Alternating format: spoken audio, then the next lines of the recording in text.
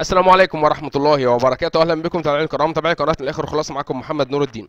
هنتكلم عن ترتيب مجموعات دوري أبطال أوروبا الموسم الجديد 2021 2022 بعد انتهاء الجولة الأولى. ولكن الأول هنتعرف على نتائج مباريات اليوم الأربعاء الموافق 15 سبتمبر 2021 اليوم الثاني في الجولة الأولى من دوري أبطال أوروبا. أنا اتكلمت طبعا عن اليوم الأول أمس الثلاثاء 14 سبتمبر 2021 هنتعرف على نتائج المباريات؟ نتكلم بشكل بسيط. في ناس مش عاجبها الفيديو وطوله يا جماعة. لذلك أنا قررت أعمل حاجة أعملها بعد الفيديو إن شاء الله ما ينزل.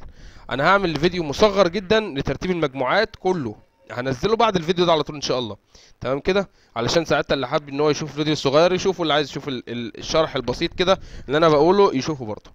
طيب عشان ما أطولش عليك دلوقتي خلينا نتعرف على نتائج مباريات اليوم الأربعاء 15 9 2021 شريف تيراسبول اللي كلنا تريقنا عليه وقلنا إن هو هيبقى حصلة المجموعة قدر يفوز على شختار دونيتسك الأوكراني على ملعبه آه، في مولدوفا 2-0 أحرز الأهداف أداما تراوري في الدقيقة 16 ومومو يانساني في الدقيقة 62 بشكتاش التركي خسر على ملعبه في اسطنبول أمام بروسيا دورتموند 1-2 أهداف بروسيا دورتموند بصراحة القوة الكبيرة اللي كانت عندهم.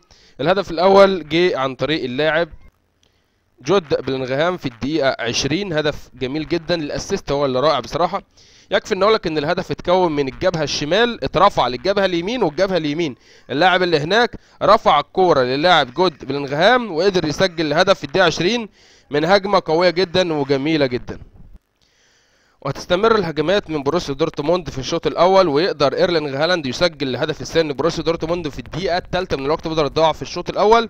والكلام ده جه من assist برضه من اللاعب بلنغهام اللي قدر يدخل من الجبهة الشمال ويخترق الدفاع. وبعد كده عمل assist لايرلينج هالاند وأحرز الهدف الثاني اللاعب النرويجي. هدف بشكتاش جه عن طريق اللاعب فرانشيسكو روبيرو آه روبيو. من آه، رأسية قوية جدا ركنية أو رفعة من الجبهة اليمين. جت على آه، دماغ الحارس آه، دماغ اللاعب وقدر يسجلها. هدف جميل جدا ركنية هدف جميل جدا بضربة رأس في الدقيقة 94 انتر ميلان خسر على ملعبه أمام ريال مدريد. خسر على ملعبه في سان سيرو بهدف لريال مدريد في الدقيقة 89 الهدف جه عن طريق اللاعب رودريجو في الدقيقة 89 ولكن الأحسن من الهدف تحرك كامافينجا كامافينجا اتحرك بشكل جميل جدا إدى الكورة آه لفالفيردي. بعد كده فالفيردي عمل assist رائع. هو مش assist طبعا للهدف. أنا أقصد يعني مرر كورة جميلة جدا لكامافينجا اللي هو على الطاير. يعني مش هيضيع وقت الراجل. على الطاير اداها لرودريجو. رودريجو على الطاير سجل الهدف. جميل جدا في الدقيقة 89 ليفوز ريال مدريد بالمباراه الأولى ويخسر إنتر ميلان هذه المباراة.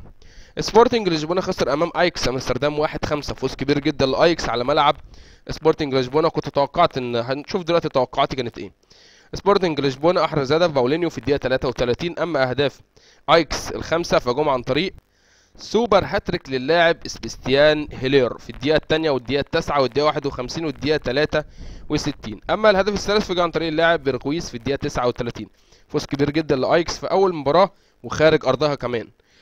ليفربول فازت على ميلان في مباراة ماراثونية مباراة قوية جدا بين الفريقين انتهت بفوز 3-2 لليفربول. أحرز هدف ليفربول فيكايو فيكايو توموري هدف في مرماه بيلعب لميلان طبعا. أحرز المرماه في الدقيقة 9 النجم المصري محمد صلاح في الدقيقة 19 آه قدر يسجل آه الهدف الأول ل- آه له في هذه البطولة دوري أبطال أوروبا في هذا الموسم دقيقة 49 وهندرسون قدر يسجل الهدف الثالث لليفربول في الدقيقة 69 هدفي ميلان جم في الدقيقة 42 والدقيقة 44 عن طريق ريبيتش وعن طريق إبراهيم دياز.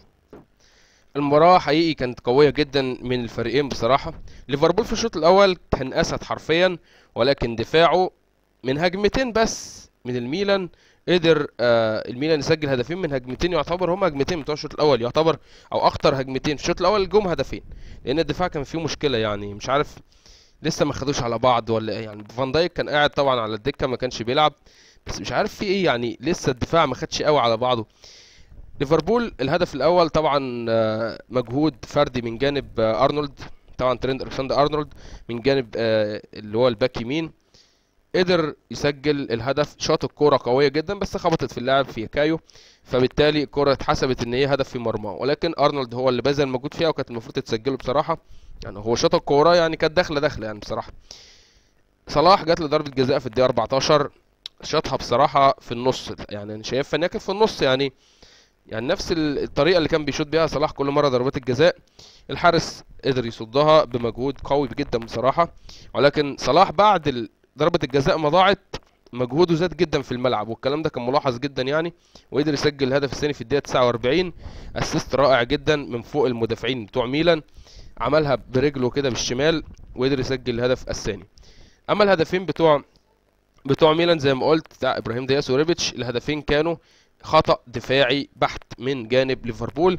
في الدقيقة 42 ريبيتش وفي الدقيقة 44 إبراهيم دياز طبعا بعد ما حاولوا الدفاع إن هم يصدوا الكورة بتاعة إبراهيم دياز في الدقيقة 44 حتى المدافع نام على الأرض ولكن قدر يكملها إبراهيم دياز وسجل الهدف الهدف الثالث كورة قوية جدا لهندرسون. هي بتوفيق كبير من ربنا أكتر ما هي كانت آه، أكتر ما هي كانت يعني بمجهوده. لأن الكرة شاطها أول ما جات له شاطها جت على يمين الحارس وقدر يسجل الهدف الثالث وفاز ليفربول 3-2 في هذه المباراة القوية. أتلتيكو مدريد تعادل سلبيا أمام بورتو 0-0 كلوب بروج تعادل أمام باريس سان جيرمان 1-1 أحرز هدف كلوب بروج. هانز فاناكين في الدقيقة 27 وأندري هيريرا في الدقيقة 15 آه، أحرز هدف الأول أصلا لباريس سان جيرمان وكملت المباراة بهذا السوء من باريس سان جيرمان لأنه انه يتعادل قدام كلوب بروج بكل النجوم اللي فيه بصراحة يعني في حاجة غلط أصلا كده في باريس يعني. ومانشستر سيتي فاز بقوة كبيرة جدا 6 3 على لايبزيج. أحرز هدف مانشستر سيتي آكي في الدقيقة 16 نوردي آه، موكيلي بيلعب آه، للايبزيج. أحرز هدف المرمى في الدقيقة 28 رياض محرز من ضربة جزاء في الدقيقة الثانية من وقت بدل الضياع في الشوط الأول. جاك غريليش في الدقيقة 56 جواو كانسيلو في الدقيقة 75 وجابرييل خيسوس في الدقيقة 85 أما أهداف لايبزيج الثلاثة عن طريق اللاعب كريستوفر نكونكو أحرز ثلاثة أهداف في الدقيقة 42 والدقيقة 51 والدقيقة 73 متابعينا الكرام كده انتهت مباريات الجولة الأولى. بالنسبة للمباريات السابقة في الجولة الأولى أنا عارف أنت قلت عليك أنا عارف والله العظيم والله أنا عارف. الجولة بدأت أمس الثلاثاء 14 9 2021 إشبيلية تعادل أمام ريد بول سالزبورج 1-1 يونج بويز فاز على مانشستر يونايتد 2-1 مالمو خسر أمام يوفنتوس 0-3 تشيلسي فاز على زينت 1-0 ليل تعادل سلبيا أمام فولفسبورغ 0-0 وفياريال تعادل أمام أتلانتا 2-2 دينامو كييف تعادل أمام بنفيكا 0-0 برشلونة خسر أمام بايرن ميونخ 0-3 دلوقتي نتعرف على ترتيب المجموعات ثم نتعرف على ترتيب الهدافين. ترتيب مجموعات دوري الأبطال بعد انتهاء الجولة الأولى. متابعينا الكرام مانشستر سيتي متصدر المجموعة بتاعته المجموعة A بثلاث نقاط باريس سان جيرمان المركز الثاني بنقطة كلوب بروج المركز الثاني مكرر بنقطة ولايبزيج في المركز الرابع والاخير بدون نقاط بعد ما خسر اليوم. المجموعة B ليفربول متصدر المجموعة بثلاث نقاط بورتو في المركز الثاني بنقطة أتلتيكو مدريد المركز الثاني مكرر بنقطة وميلان المركز الرابع والاخير بدون نقاط. المجموعة C أياكس أياكس امستردام في المركز الأول بثلاث نقاط بروسيا دورتموند المركز الثاني بثلاث نقاط بشكتاش المركز الثالث بدون نقاط وسبورتنج لشبونة المركز الرابع والأخير بدون نقاط. والمجموعة D المجموعة الرابعة شريف تيراسبول المركز الأول بثلاث نقاط ريال مدريد المركز الثاني بثلاث نقاط انتر ميلان المركز الثالث بدون نقاط وشختار دونيتسك المركز الرابع والأخير بدون نقاط. طبعا شريف الأول علشان سجل هدفين أما ريال مدريد سجل هدف واحد. مجموعة E المجموعة الخامسة بايرن ميونخ متصدر المجموعة بثلاث نقاط. بنفيكا المركز الثاني بنقطة دينامو كييف المركز الثاني مكرر بنقطة. برشلونة المركز الرابع والأخير بدون نقاط. والمجموعة F يونج بويز المركز الأول بثلاث نقاط. أتلانتا المركز الثاني بنقطة. فياريال المركز الثاني مكرر بنقطة. مانشستر يونايتد المركز الرابع والاخير بدون نقاط. المجموعة G ريد بول سالزبورج المركز الأول بنقطة. إشبيلية المركز الأول مكرر بنقطة. فولفسبورغ المركز الثالث بنقطة. وليل المركز الثالث مكرر بنقطة. المجموعة H في المركز الأول يوفنتوس بثلاث نقاط. تشيلسي في المركز الثاني بثلاث نقاط.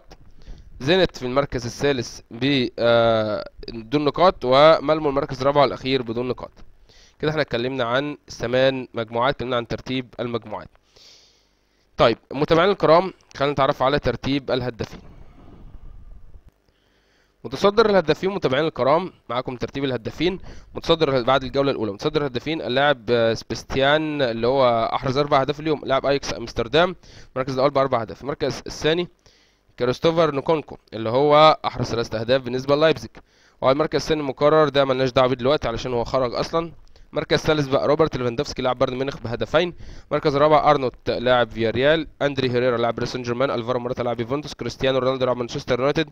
غابرييل خيسوس لاعب مانشستر آه سيتي. وهانز لاعب كلوب. آه إيفان لاعب إشبيلية. جواو كانسيلو لاعب مانشستر آه مانشستر سيتي.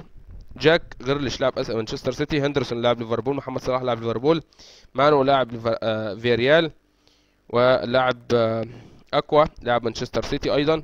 باولو ديبالا لاعب يوفنتوس. روميلو لوكاكو لاعب تشيلسي. رياض محرز لاعب مانشستر سيتي. فرانشيسكو لاعب بشكتاش لوكا لاعب ريد بول سالزبورج ومومو لاعب شريف. وخلاص كده. خلينا نشوف ترتيب صناع الأهداف. ترتيب صناع الأهداف. متابعين الكرام متصدر صناعة الأهداف آه، اللاعب آه، أنتوني سانتوس لاعب أيكس أمستردام صنع هدفين هو وكريستيان كريستيان ليتي لاعب آه، شريف. المركز الثاني صنع هدف أكتر من لاعب بقى عندنا منهم أسبليكويتا لاعب تشيلسي وأوريجي ديفوك أوريجي لاعب ليفربول دوفان زاباتا لاعب أتلانتا. واللاعب اللي صنع هدف طبعا ريال مدريد هتلاقيه كامافينجا هتلاقيه هنا كامافينجا اسمه إيه كامافينجا دول أكتر من لاعب بقى. متابعين الكرام ودلوقتي حان وقت الفائزين معانا في المسابقه الرياضية وبعتذر على طول الفيديو بعتذر لحضراتكم الأستاذ محمود درويش أتوقع تعادل سلبي أتلتيكو مدريد وبورتو. شكرا لحضراتكم على التوقع الصحيح. الأستاذ علي جمال فوز ريال مدريد واحد مقابل صفر. شكرا لحضرتك على التوقع الصحيح. قناة Play Play Games شكرا لحضرتك على التوقع الصحيح. فوز ريال مدريد واحد صفر. الأستاذ عمرو زيادة. شكرا لحضرتك على التوقع الصحيح. فوز ليفربول 3 2 والأستاذ بلال تلجو فوز الريال 1 0 شكرا لحضرتك على التوقع الصحيح. كده إحنا اتكلمنا عن كل الفائزين معانا في المسابقة الرياضية. أنا توقعت إيه؟ أنا توقعت إن شختار هيكسب. ده توقع غلط. توقعت إن دورتموند هيكسب وكسب. توقعت إن الريال هيكسب عشان أنا بشجع ريال مدريد وكسب.